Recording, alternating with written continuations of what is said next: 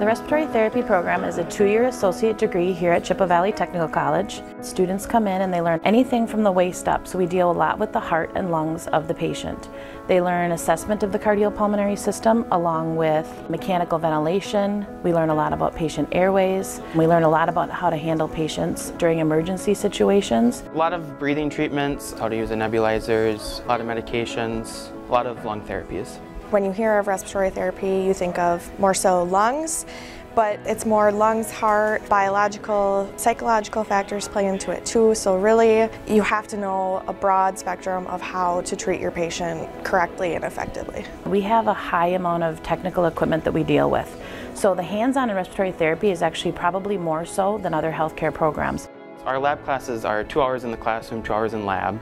Students average about five to six times per semester in the simulation lab. And the simulators that we use are high fidelity mannequins, which means they actually act a lot like a person does. They can sweat, we can put IVs in them, and actually we can hook them up to a mechanical ventilator to allow them to breathe. There's actually a two-way mirror in here where there's somebody behind there acting as the voice of the patient, so it's actually real time. I think I started when I was like 14. We actually have someone that they can call and talk to a doctor, or we can role play the doctor and come in the room. So our goal is for students to be able to practice on these mannequins before they actually practice on people in the real world. With these live mannequins, they are able to talk to you, tell you what's wrong. Sometimes they'll make them code. It really prepares you so that if something did happen, you would know what to do. We have open lab hours all through the week. Don and Therese open up the lab whenever we need. They're both two people that I think everyone feels comfortable around, and if you need something, you're not afraid to go to them. You have the same instructors throughout the whole program,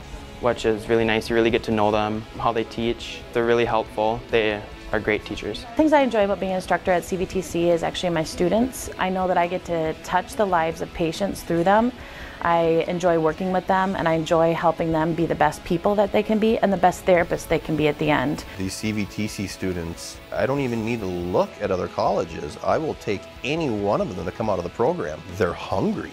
I don't know what Don and Teresa do, but they're doing it right. I've told them that many times. There's not many schools in Wisconsin I know that teach respiratory therapy. I feel very confident in being able to get a job after graduation. For our respiratory therapy program here at CVTC, our job outlook is fantastic.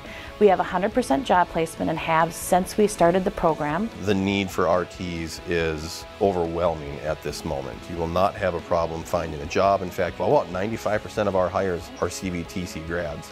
I would definitely recommend it. It's really rewarding. I really just think it prepares you to go out into the real world. Every single day, I still learn something at work.